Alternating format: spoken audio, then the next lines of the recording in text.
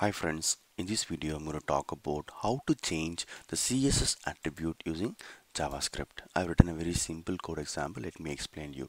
There is a paragraph, okay, and there is a button. The paragraph uh, has some content in it, okay. Now there is a button. When you click on this button, I'm going to call a JavaScript method.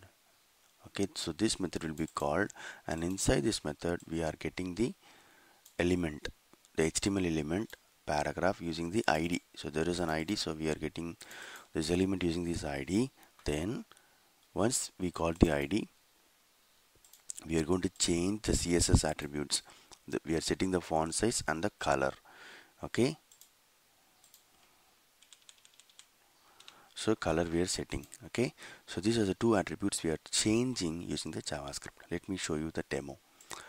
Here this this is the paragraph which uh, which is which looks in back black color. Now I'm going to change it to red color and the size. So when I click on this button this method will be called and we are changing the font size and the color okay? So let me show you the demo. I'm going to click on this button.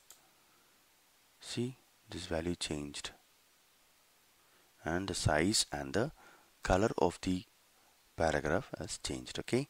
So this is how you can change the css attribute using the javascript. Hope this video is useful. Thank you